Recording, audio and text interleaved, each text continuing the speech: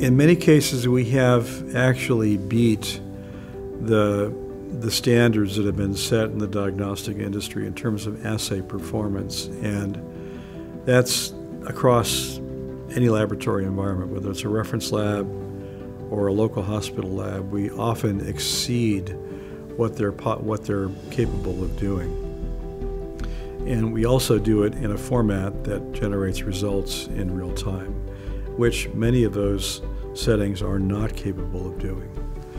So it's really the best of both. It's having um, incredibly sophisticated technology uh, built into a very easy to use um, format where the technology underlying how the test works is often invisible to the person running the test.